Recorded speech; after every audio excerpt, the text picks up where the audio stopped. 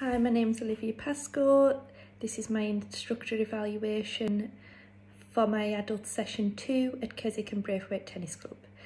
During the second session, I felt like I had high energy throughout. Again, everybody really seemed to enjoy the session. I felt like I created a positive training environment and everybody was super engaged in the session.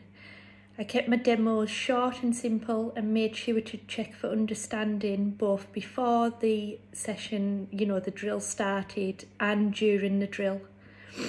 I felt organised, having a clear plan and I kept track on time throughout the session.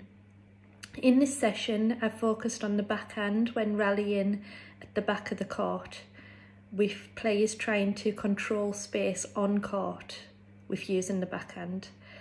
I give them a target for hitting four crosshand, cross-court backhands and then I rotated players round to the left when they achieved this. Everybody got a turn with everybody. I had four players on my session. My plan for next week is to progress to hitting a volley at the net. Gary, the league coach, again said I did really well and was very impressed with my communication. I really enjoyed this and I'm super looking forward to next week.